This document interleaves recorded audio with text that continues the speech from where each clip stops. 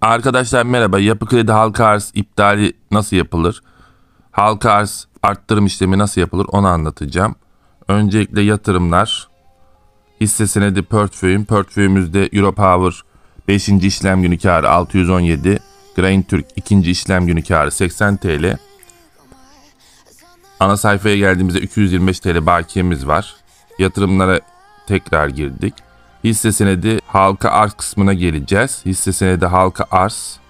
Daha sonra dün talep ettiğimiz CV Enerji Mühendislik Ticari Arş AŞ talep iptali diyoruz. 18 adet girmiştik. 1954 lira 80 kuruşluk. Biz 20 adet gireceğimiz için öncelikle talebimizi iptal ediyoruz.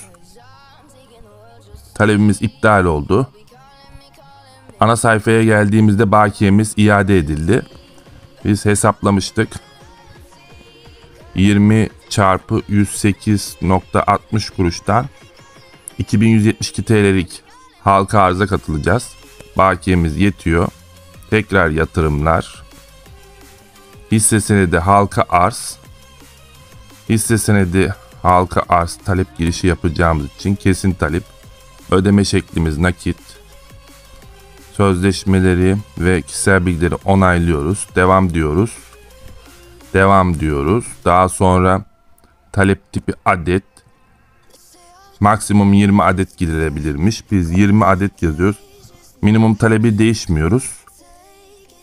Devam diyoruz. Burada teslim kendi kurumuna. Portföy numaramız doğru. Paranın iade şekli kendi hesabıma iade. Devam diyoruz. Ve talebimiz oluştu. Onay dediğimizde taleplerim kısmına geldiğimde talebim gerçekleşti. Ana sayfaya geliyorum. Bakiyemiz düştü.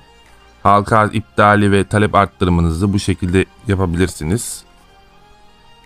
Beni dinlediğiniz için teşekkür ederim. İyi günler diliyorum. Sağlıcakla kalın. Kanalıma abone olup beğenmeyi unutmayın.